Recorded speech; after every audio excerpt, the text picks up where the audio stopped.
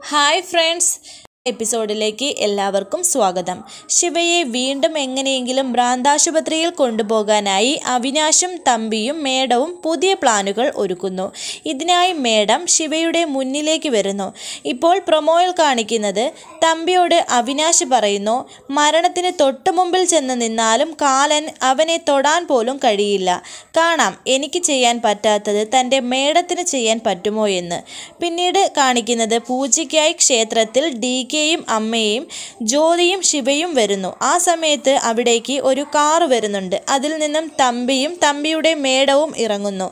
അവർ അമ്പലത്തിൽ പോയി പ്രാർത്ഥിക്കുകയാണ്. ഈ സമയം ശിവ മേടത്തെ കാണുന്നു. ശിവയ്ക്ക് അവരെ കണ്ടതും ദേഷ്യം വരുന്നുണ്ട്. ശിവ വയലന്റായി മേടത്തിന്റെ കഴുത്തിൽ കയറി പിടിക്കുകയാണ്. ശേഷം ബഹളം വെച്ച് മേടം കൈയെടുത്ത് മാറ്റാൻ ശ്രമിക്കുന്നുണ്ട്. ജ്യോതിയും അമ്മയും ഡി കെയും ഇത് കണ്ടോണ്ട് അവിടേക്ക് ഓടി വരുന്നു. പിന്നീട് ഗുണ്ടകൾ ശിവയുടെ നേരെ വരുന്നതാണ് കാണിക്കുന്നത്. ശിവയെ രക്ഷിക്കാനായി ഡി കെയും ചേർന്ന് നിന്ന് ആ ഗുണ്ടകളെ നോക്കുകയാണ്. അവർ തമ്മിൽ അടിയാവുന്നു.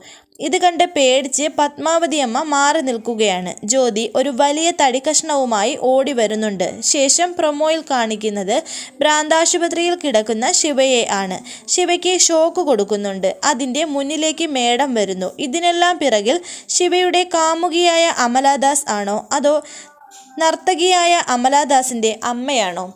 വരാനിരിക്കുന്ന പുതുപുത്തൻ എപ്പിസോഡുമായി വീണ്ടും കാണാം. Thank for watching please subscribe